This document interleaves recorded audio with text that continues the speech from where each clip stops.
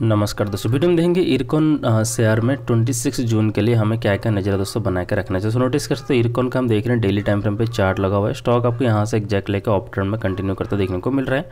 और यहाँ पे आप नोटिस कर सकते हैं कि स्टॉक अपने टेलेंट को सपोर्ट लेकर ऊपर बढ़ता हुआ दिखाई दे रहा है। तो अभी कंडीशन के लिए आप देख रहे हैं, यहाँ पे एक आपके डोजी कैंडल सॉरी एक स्टॉक एक रेंज के अंदर ये ट्रेड करता देखने को मिल रहा है। काफ़ी टाइम से आप देख रहे हैं स्टॉक यहाँ पे सपोर्ट रेजिस बना के ट्रेड करे। जब इसका ब्रेकआउट होगा, तभी आपको ऊपर जाता हुआ नज़र आ जाएगा। तो अभी कंडीशन के लिए दोस्तों आपको देखने को मिल रहा है, एक है रेजिस्टेंस लाइन 89.25 का सपोर्ट लाइन दोस्तों आपको देखने को मिल रहा है, यहाँ पे रहेगा 76.55 का राइट अब दोस्तों ईरकॉन शेयर में नेक्स्ट ट्रेडिंग सेशन में हमें कौन से कौन से लेवल्स पर ध्यान रखने की आवश्यकता रहेगी?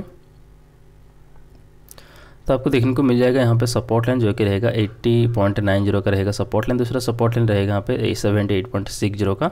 अब रेजिस्टेंस लाइन देखने को मिलेगा 84.90 का। नेक्स्ट रेजिस्टेंस लाइन देखने को मिल जाएगा आपको एट्टी सिक्स एट्टी सेवन का। तो वीडियो लाइक करें, दोस्तों के साथ में शेयर करें चैनल को सब्सक्राइब करें बेलाइकन भी दबा लीजिए। धन्यवाद।